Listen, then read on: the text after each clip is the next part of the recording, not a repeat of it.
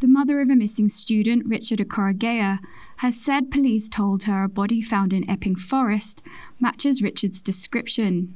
19 year old Richard disappeared two weeks ago after taking a taxi to Epping Forest, having told his mum he was struggling to cope with lockdown. I don't know what to think at the moment.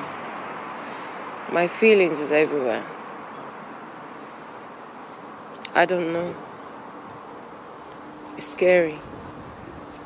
The body of a man was found in a pond in Epping Forest. The Met was informed by Essex Police on Monday. Richard, a business and IT undergraduate at Oxford Brookes University, has sickle cell disease and was last seen by his family on March 22nd.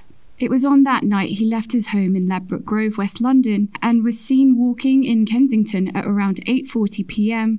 before boarding a bus southbound. He then took a taxi to Loughton, Essex, and was spotted on CCTV near Epping Forest on March 23rd. Police search officers, dog units, and specialist police divers have been scouring the area for five days.